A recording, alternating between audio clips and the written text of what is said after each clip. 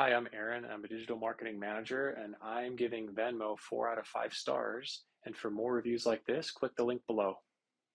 Venmo is great for exchanging funds, you know, from your bank account, credit card, however you need to do it. It's much better than going to the bank and withdrawing from an ATM or even having to go fill out a deposit slip. Makes it pretty seamless, just syncing up your bank account and whoever you're, you know, sending requests to, they can do it as well.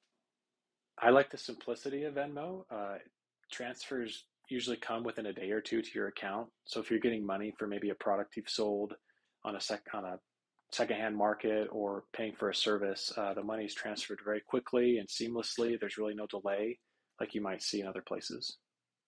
Uh, the thing I like least about Venmo is its seller protection. I mean, if you try selling something and someone uses a fraudulent card or uh, means of paying for something, you're not generally protected unless you select the right options which I believe costs an extra fee.